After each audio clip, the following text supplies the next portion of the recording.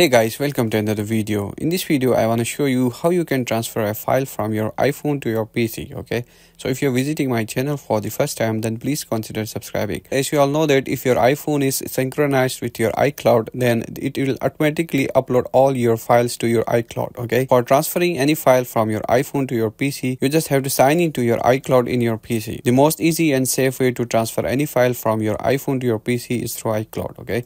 So first of all, you have to open your Google Chrome browser or any browser you want and here you have to sign into your iCloud. If you are signing in for the first time then they will send you a code. You have to enter the code here and after that you can simply sign in. So to transfer any kind of file you just have to simply select that file. So let's say that I just want to send a video from my iPhone to my PC okay. So I will go to this folder and I will select a video okay and let's say that i just want to send this video. So i will just select this option and i will click on this download. Okay so once the download is finished then here you can see that you can play that video in your pc so that's how you can send a file from your iphone to your pc for more videos like this please subscribe to my youtube channel